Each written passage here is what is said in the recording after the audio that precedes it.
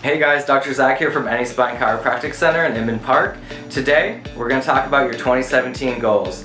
2016 is over. Most of us are happy it wasn't the you know most fun year for a lot of us. So we're going to try to make 2017 the best we can.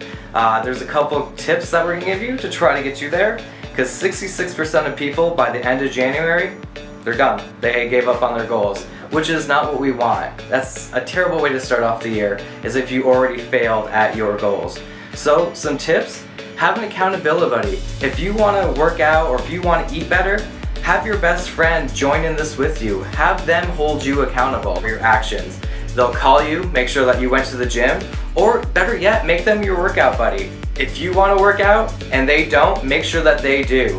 If you don't want to work out and they do, they have to make sure that you do you guys are responsible for each other. It's not a one-way relationship. It has to be both. So find someone that has similar goals to you and stick with it.